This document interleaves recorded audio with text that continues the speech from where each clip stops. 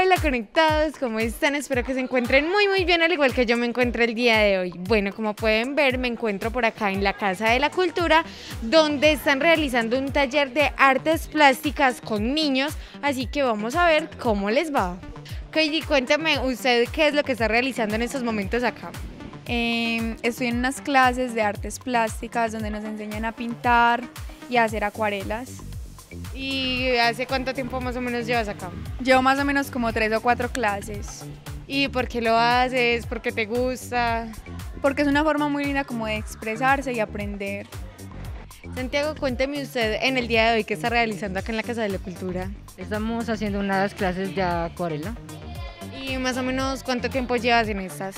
más o menos desde hace un mes. ¿Y qué más haces que tenga que ver relacionado con este arte?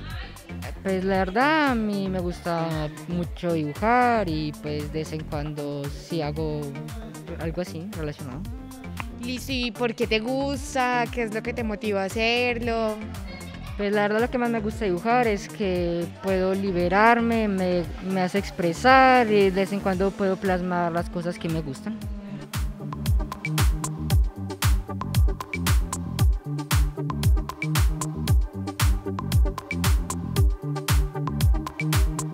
Juliet, cuéntame usted qué está realizando en el día de hoy acá en la Casa de la Cultura. Pues hoy estamos haciendo un taller de artes plásticas. Eh, ahorita precisamente estamos trabajando pinturas eh, de acuarela. ¿Y más o menos cuánto tiempo llevas en esos proyectos?